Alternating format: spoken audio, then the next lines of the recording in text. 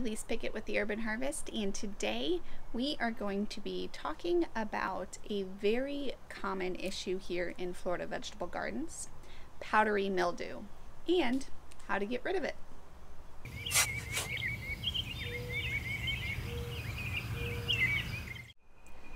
But first, let's figure out uh, what powdery mildew looks like in the garden so that you know whether that's the issue that you are actually dealing with. Powdery mildew or downy mildew is going to show up as white patches and splotches on the leaves of your plants. Um, what differentiates it from um, like pest damage or insect damage on the plants is the fact that it's fuzzy and if you rub it, it will actually rub off. Basically what you're seeing when you see that white powdery substance on your plants is the spores, the fungus. Um, so you can tap the plant or rub the plant and you will actually see the spores rub off or fly off into the air. That's how you know you are dealing with downy or powdery mildew. So you can see here, this is the base of the vine and um, I've been preoccupied of late, so I didn't get out here to treat or manage this in any way uh, for quite some time.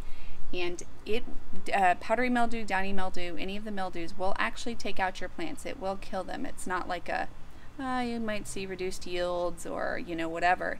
It will kill your plants if left unchecked. Um, so it's definitely something that you want to manage in the garden. Um, one thing to also note is that if you do have a lot of leaves or debris that have fallen around the base of the plants um, because of them dying from the, the mildew, um, make sure you collect all of that and dispose of that not in your compost pile um, but in the trash um, to make sure that you're getting rid of any of the spores because if you treat the plants and you still have a bunch of the leaf litter with the spores on it around the base of the plants, in a matter of no time, it's going to reinfect the plants. So Earth's Ally uh, disease control is what I have found to be effective in the garden that is not that um, homemade milk um, water mixture. Um, it is not animal based, it is actually citric acid. That's the main ingredient in it. And they have done a, a number of studies um, to show that it is effective at treating mildew, any sort of fungal issues, so like black spot, if you have roses, that kind of thing. Um, it is good with the fungal and disease issues that will pop up in the garden. With any other foliar spray, it is a good idea to always make sure you do it uh, when there is shade or late in the evening so that you're not burning your plants. Um, this is on the east side of my house, so even though it is late afternoon, I am still able to safely spray the plants. You will see results from this within 24 hours, so it's a very quick and effective means of control. So what we're going to do is we are going to spray today and come back tomorrow to show you um, how effective it's been at treating the powdery mildew on my bean and squash plants. So when you are spraying the leaves, especially um, with um, any sort of mildews, it's going to be on the tops and bottoms of the leaves.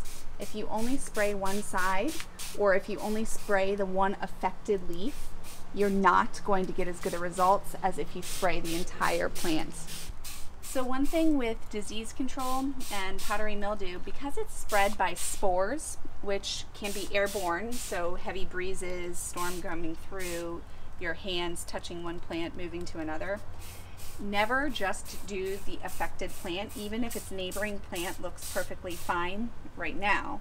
Um, it will likely still have those spores on them and will start showing um, signs of issues shortly after.